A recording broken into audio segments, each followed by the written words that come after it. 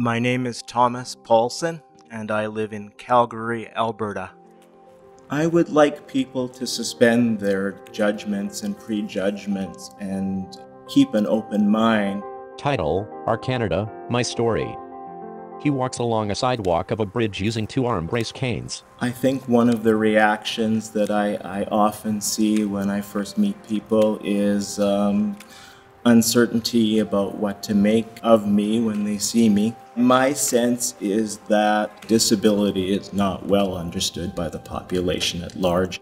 My disability is uh, called cerebral palsy, and it can affect people in very many different ways. In my case, it, it, principally affects my mobility, motor coordination, and balance. He rolls into a room on his wheelchair with a broom and dustpan. I live on my own, I live by myself.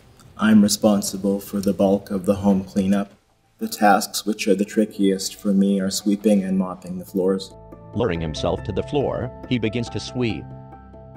My sense is that there has been discrimination in different areas of life, employment or day to day interactions or services that I might receive. I think that I've experienced things that most people don't have to contend with.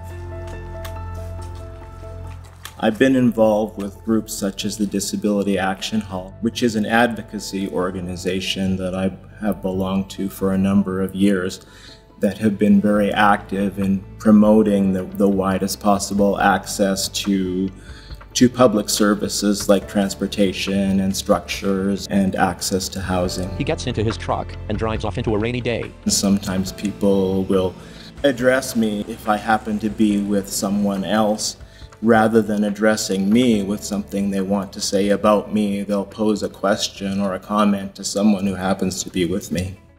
These things feel very alienating to me. As the rain splashes his windshield, his eyes are reflected in his rearview mirror. I would like people to treat me and respond to me in the same ways that they would anyone else that they were getting to know or experiencing for the first time. I've been reflecting for a while now as to when it was I first discovered that I loved to dance. But I kind of imagine it was when I discovered that to be standing still is uncomfortable and sometimes painful for me. But when I'm in movement, it's never so. The dance group practices Momo Dance Theatre is a fully integrated dance theatre company based here in Calgary.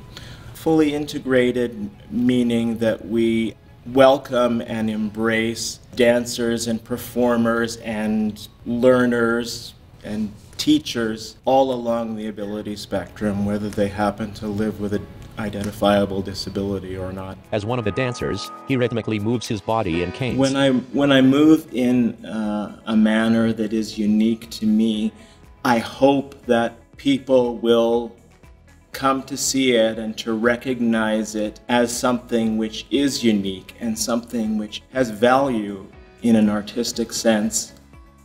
To this day, there really aren't that many opportunities for people with disabilities to participate in things like theater and in things like dance. I think that just by being out there, by being visible, we're helping to break down barriers.